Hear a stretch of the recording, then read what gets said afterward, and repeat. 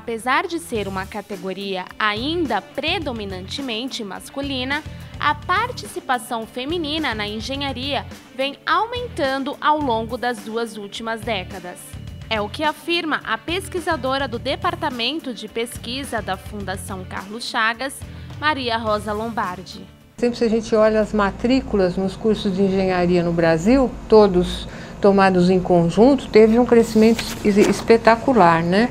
Por exemplo, a gente passou em 2000, por exemplo, você tinha 19, 20% das matrículas eh, dos cursos de engenharia que eram matrículas femininas. E em 2014 a gente chegou a 28%.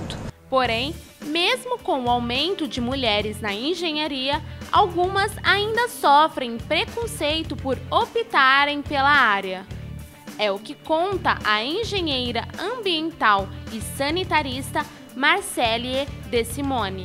Quando eu decidi fazer engenharia, a minha família ficou, nossa, mas você é a primeira da família, vai escolher uma profissão que não é uma profissão tão comum. Ela relata alguns preconceitos presentes na profissão.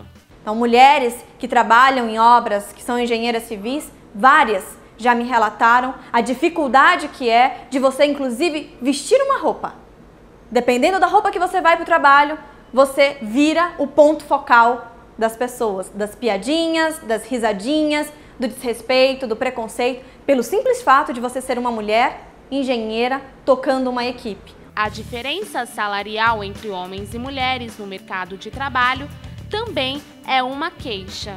E uma vez um chefe chegou a dizer para mim que era porque nós éramos mulheres e porque nós tínhamos a possibilidade de um dia engravidar e de um dia sair por licença maternidade e por isso ele não achava certo dar o mesmo salário que ele daria para um homem que não ia ficar seis meses afastado. Para a pesquisadora Maria Rosa Lombardi, esses preconceitos refletem de forma negativa na vida de muitas mulheres. Elas praticamente não tiram licença maternidade. Elas uh, dão, à luz na semana que, seguinte já estão no canteiro. Que é para não dar margem agora. Elas acham que é normal. Mas a gente pode deixar a pergunta: isso é normal? Isso é natural? Ou é um direito da mulher repousar um pouco depois de parir? A professora doutora Carla Diegues, coordenadora do curso de Sociologia da Fundação Escola de Sociologia e Política de São Paulo, conta o que é preciso para acabar com as diferenças entre gêneros no mercado de trabalho tem uma questão cultural que é muito forte. Se a gente não mudar a questão cultural, a gente não consegue avançar. Agora, a legislação e a política pública, ela é um fator que pode ajudar, inclusive, na mudança cultural. Para a engenheira Marcele, também é preciso encorajar as mulheres. O primeiro passo para tudo é empoderar as mulheres.